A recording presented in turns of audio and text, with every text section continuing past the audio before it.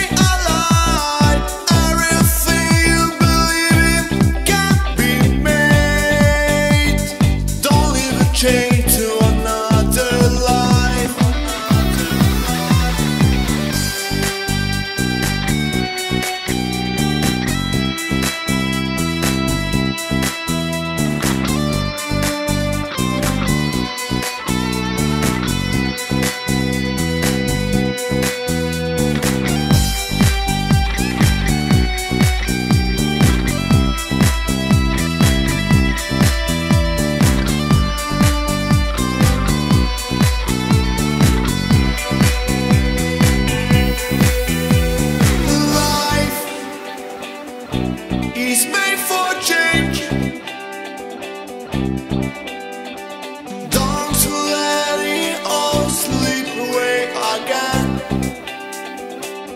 again.